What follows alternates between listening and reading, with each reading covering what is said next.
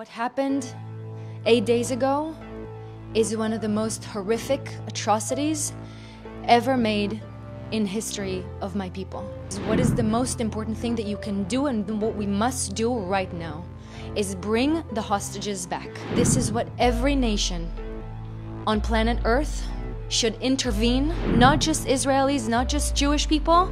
They're holding people from 36 countries from around the world. I'll do everything in my power to have Israel win. I honestly, I feel grateful to have an ally, a beautiful ally like India. India is one of my favorite places on earth. I love its people. I think, first of all, um, me and everyone I know in Israel, every civilian, every citizen of Israel, is now supporting the cause of, first of all, bringing the hostages back. We are doing everything in our power to bring them, them back. What happened eight days ago is one of the most horrific atrocities ever made in history of my people. This is worrisome on so many levels, but what we're doing right now is what is the most important thing that you can do and what we must do right now is bring the hostages back. We are supporting the army, we're taking care of our army, um, we're in the middle of war. It's gonna be even more bad for a lot, a lot of human lives, but we are going to prevail. We are getting ready. And first thing that we're doing is bringing our hostages back. Do you think that Hamas will release the hostages? I don't, um, I really hope so. I think that this is what every nation on planet Earth should intervene and do everything in their power to bring our people back. Hamas took people from other 36 countries around the globe. They have people, not just Israelis, not just Jewish people, they're holding people from 36 countries from around the world. The global nations around the world should unite to do everything in their power to bring the hostages home. And Rona-Lee, what's your appeal to the world leader, including India? What is my appeal? Um, I'm requesting for everything I have. I'm requesting for, for the sake of humanity. I think we are now, you know, in a, in a very pivotal point in history. This is going to be very simple at the end of the day. This is good against evil.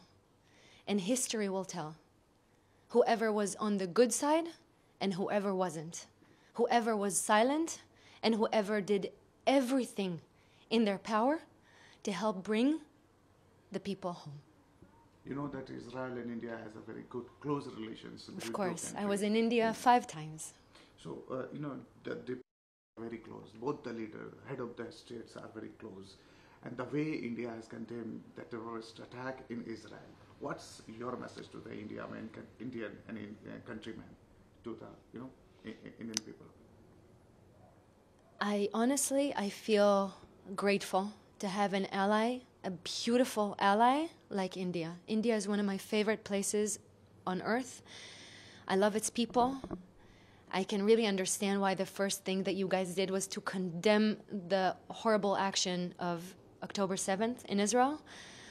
I would expect nothing less, but I want to say with the utmost gratefulness in my heart, I think it's the best thing that you guys can do for us is condemn this horrible terror and stand by our side. Do you think any religions can speak or teach bloodbath the way they are doing Gaza Strip, Hamas people on the name of Islam? Uh, can you repeat the question? Give the advice to do bloodbath? The Hamas terrorist has taken and uh, has done barbaric attack on Israeli people. The question the you're asking if, if there's any religion that can that yes. can teach against against, against the humanity to do a terrorism against the people like the, you know Hamas. You know what I think? I think if you look at religion in the in I think religion is a beautiful thing if you make it beautiful. I think it's a it's a human choice to use religion for the best way.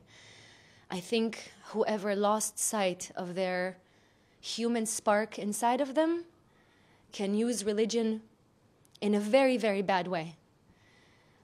But I think what was shown to us on October 7th, 2023, is that Hamas is ISIS and they will not stop. Israeli forces are fighting at the border with the Hamas terrorists. Every Israeli wants to kill Hamas terrorists. If required, will you take the gun and go to the border for the country? I will do everything in my power to have Israel win everything.